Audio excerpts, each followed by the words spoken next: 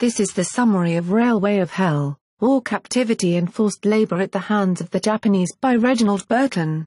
A young captain in the Royal Norfolk Regiment, Reggie Burton was wounded in the closing stages of the disastrous defense of Malaya and Singapore. He vividly, yet calmly and with great dignity, describes the horror of captivity at the hands of the Japanese. After initial confusion, the true nature of their captors emerged as, increasingly debilitated, the POWs were forced into back-breaking work. This was only a taste of what was to come.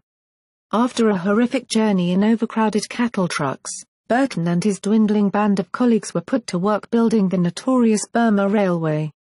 Somehow he survived to tell this moving and shocking story.